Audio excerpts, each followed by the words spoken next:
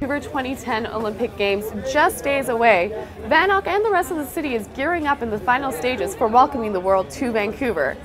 But here at the Japanese Hall, the torch is already lit, the crowd has been cheering for hours, and the games are well underway. Welcome to the 2010 Poverty Olympics.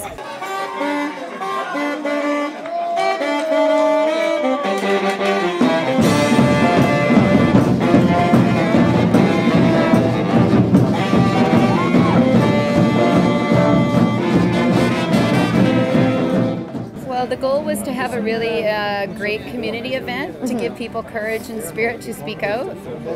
Another goal was to reach the international media and let them know that our governments could end poverty if they want to. This is like a kind of a family friendly, soft opening of Olympic resistance.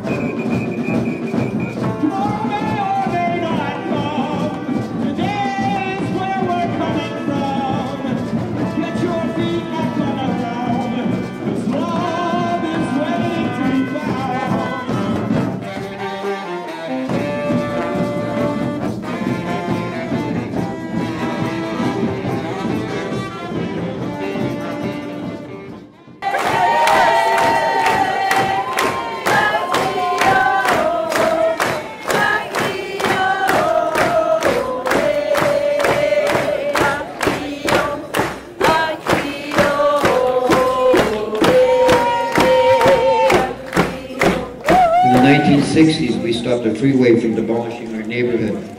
In the 70s, we, forgot, we fought to get a name other than Skid Row and, and for a community center. In the 1980s, where we fought to get a park on the waterfront and started this, the fight for social housing. And in the 1990s, we fought for our missing and murdered women and, and for our safe injection site. Now we're fighting for better housing, better incomes, and to stop gentrification. People are seeing their schools close, People are seeing their health care get worse and worse. Legal aid being cut, arts funding. People are experiencing that, and they're now making the connections and saying, okay, seven billion spent on the mm-hmm. Olympics, and my local schools just closed down. Something's not right here. Oh, what a steal by Alexander Ovechkin in alone! Deep scores!